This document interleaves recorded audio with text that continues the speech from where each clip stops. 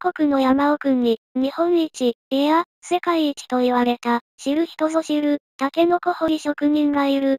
その名も必殺の、ヒロ。ヒロは明けの上で、3月から5月までタケノコをひたすら掘っている。今日もヒロの一日が、始まる。ふわぁ、今日もやるかヒロは夜明けとともに起き、タケノコのありかを探す。当然である。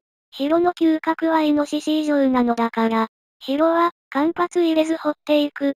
なぜ早く掘るのか、それは、直売所に持っていかねばならないからだ。こんなもんだろう。ヒロは、急いで家路に向かう。なんと、この短時間で、ヒロは、タケノコを3キロ掘ったのだ。数にして5本。驚きである。なぜそんなにタケノコを掘るんですか？